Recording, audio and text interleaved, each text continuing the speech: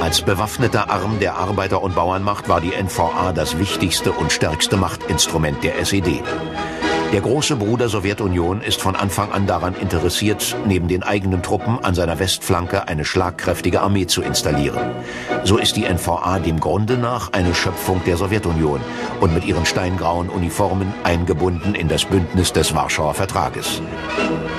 Als der Heinz Hoffmann in der Uniform eines KVP-Offiziers 1955 am Gründungskongress des Warschauer Vertrages teilnahm, rief ihn Bulganin zu sich und sagte, Tavarisch Hoffmann,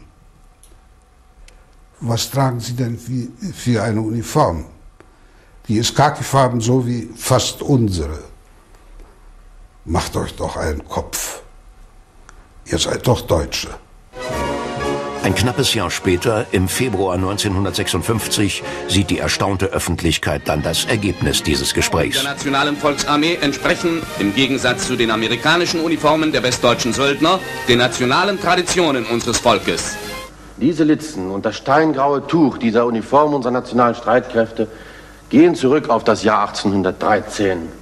Das heißt also, sie, diese Uniform ist im Dienste nationaler Traditionen angezogen und das Kleid unserer Armee.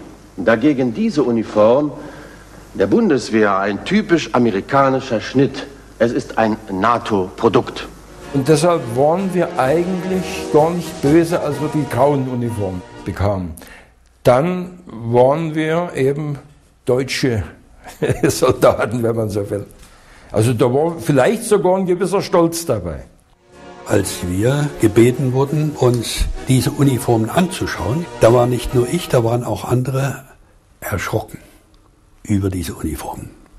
Weil wir uns das nicht vorgestellt hatten, dass uns hier vorgeführt werden, im Grunde genommen äh, die ehemaligen Wehrmachtsuniformen nur wenig verändert. Die Geschwindigkeit, mit der die neuen Uniformen eingeführt werden, hängt nicht nur vom Willen der Militärführung ab, sondern auch von der Geschwindigkeit der Uniformnäherinnen in den Bekleidungswerken von Halle und Leipzig. Und leisten einen wichtigen Beitrag zur Verteidigungsbereitschaft unseres sozialistischen Vaterlandes. Der NVA-typische Stahlhelm. Er war bereits für die deutsche Wehrmacht entwickelt worden, ohne je zum Einsatz gekommen zu sein. Die Werktätigen in der deutschen... Noch in der alten Uniform verkündet Willi Stoff die Gründung der NVA vor der Volkskammer am 18. Januar 1956. Damit ist die Schaffung regulärer Streitkräfte in der DDR besiegelt.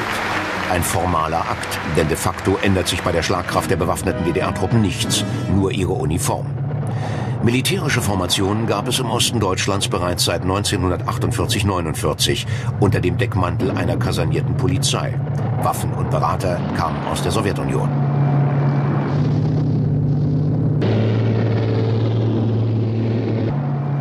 Die Soldaten dieser Schattenarmee waren Freiwillige, ihre Motive höchst unterschiedlich.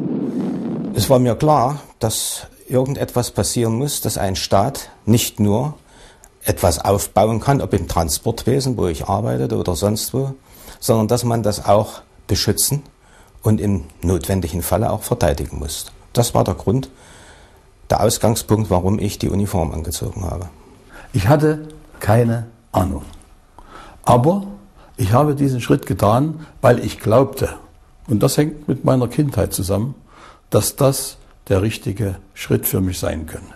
Es war rein die ökonomische, soziale Situation in der Familie.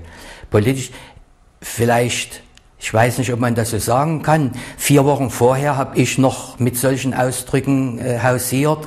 Ein Volkspolizist, was ist das? Ein Eckensteherautomat mit Schwerarbeiterzulage.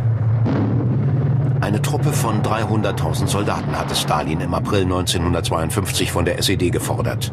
Als vorderstes Schutzschild gegen den Klassenfeind sollte diese Armee das Sicherheitsbedürfnis der Sowjetunion an ihrer Westflanke abdecken. So wurden diese ersten deutschen Nachkriegssoldaten sofort in den Kampfauftrag der Roten Armee eingebunden. Anfangs sahen sie sogar fast noch so aus wie Rotarmisten. Sobald ein Zivilist in der Nähe war, wenn wir zum Übungsplatz fuhren, dann sprachen wir Russisch. Ein paar Brocken konnte man ja, vor allem diese Fachausdrücke, die musste man ja alle lernen. Es haben ja manche Leute gedacht, wir sind Russen und, und haben noch gestaunt, wie wir auf einmal Deutsch gesprochen haben. In der Straßenbahn, ja, habe ich das erlebt.